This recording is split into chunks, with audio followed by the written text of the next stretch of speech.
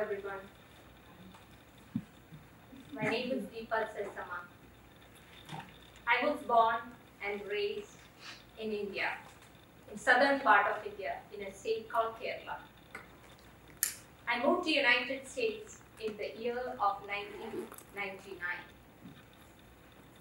You know, when you're so young, it's never fun to move across the globe to a country where you have no friends, no family, no relatives, and no familiar faces. I settled down in a city called Valencia in Southern California.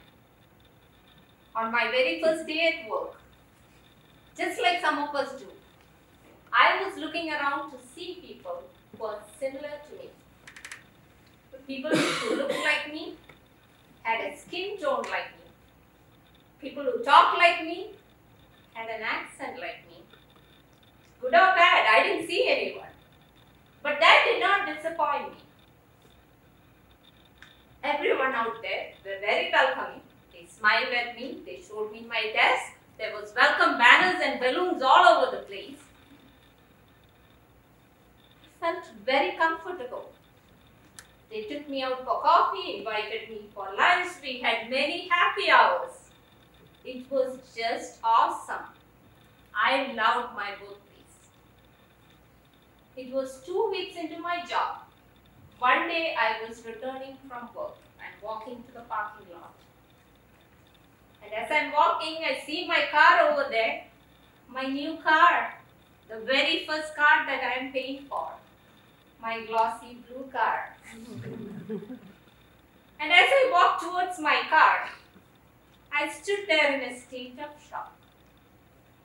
My car was keyed back and forth, back and forth a dozen times. I was sad, I was angry, I was frustrated, but I didn't know what to do next. I stood there looking around to see if there was anyone around my car, and I didn't see anyone. And as I stood there, I saw a man farther away in the parking lot. So I thought I'd go up to him and ask him if he had seen anyone close to my car. So I walk up to him. And as I reached closer to him, I said, Excuse me, my car is parked over there. It has been keyed. Have you seen anyone close to my car? And his voice was very stern. He said, No. And he looked away from me. And his facial expression told me that he did not want to continue that conversation further. So I said, Thank you. And I'm walking away. I took a few steps away from him. I thought I heard something, but I was not sure if I heard that. So I turned my head, I looked at him and I said, Excuse me. And he looks right at my face and he said, Get out of my country. This, for me, was more painful than my car being hit. It was very, very painful. I started to cry. And as I start to cry, I'm asking him the question Why do you say that to me? What did I do to you? I don't know you. You don't know me. Why would you say that to me? And I kept on crying and I kept on asking this question over and over again. And at this time, I am making a big scene in the parking lot. People are walking by, giving me stares. Oh, there's this crazy girl out there. There was this lady who walked up to me and she said, Hey, sweetie, is there something that I can help you with? And I ran up to her and I talked about my keyed over there the man over here who's telling me to get out of this country. I'm pouring my heart out and she said, Calm down, don't worry, we'll take care of it. And I stand there. She, like a badass woman, stands up for me. She tells the man to apologize, and the man says, This is none of your business. You stay out of this. And she says, This is my business. They go back and forth as I sit there crying. And finally, the man said sorry to me. And when he was saying this, the lady asked the man, Did you key her car? And the man said, Yes, I did. I am now crying at the top of my voice. So you keyed my car too?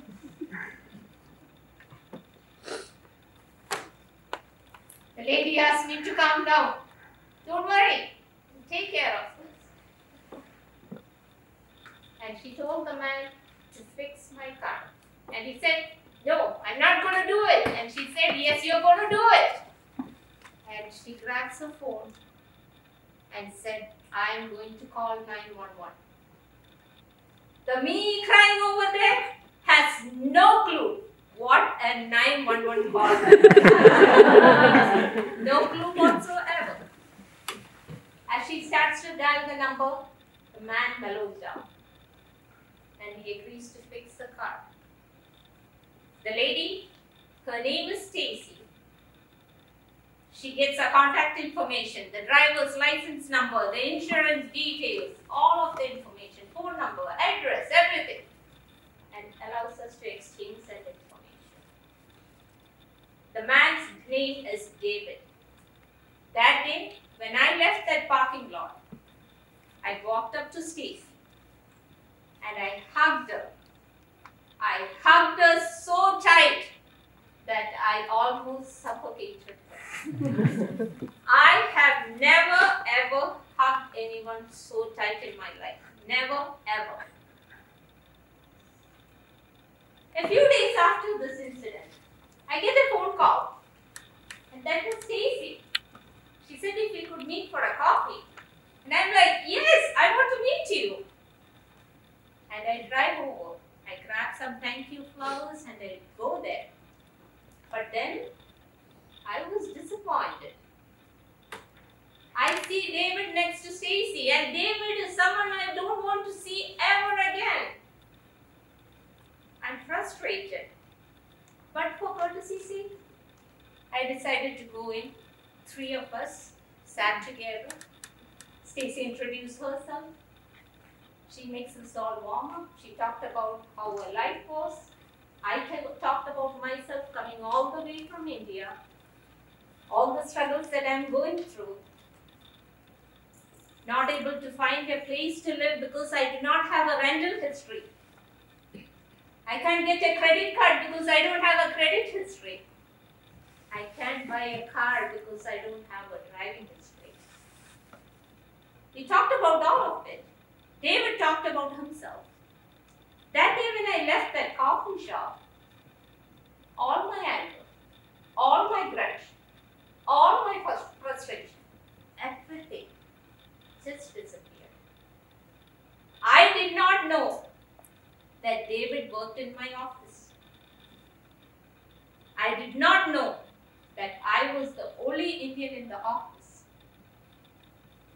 Little did I know that David's job was getting eliminated because his job position was getting transitioned to India. David's wife had lost her job six months prior to this incident because her whole department work was getting transitioned to India. David talked about his family with the four little kids, bills, the financial crisis, all of it. And what that meeting turned into was the start of a beautiful relationship.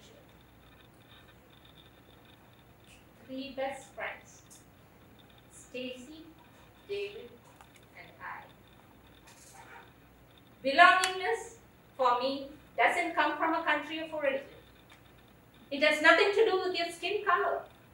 It has nothing to do with how you speak. None of it. For me, belongingness is empathy. It is how you care for your fellow humans. And who taught me that? Who showed me that? It was Stacy. It's been 20 years since this incident has happened. I've had so many Stacys go through my life, so many of them. And I thank all of them as I stand here today. I thank all of them. Without them, I would never be the way I am today.